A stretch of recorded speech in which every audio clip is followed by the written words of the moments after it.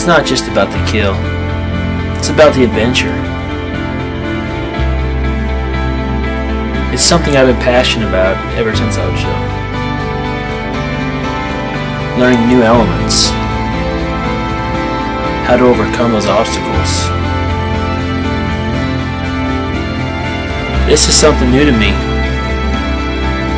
You get to know the real you, sitting alone, cold, listening to the wild.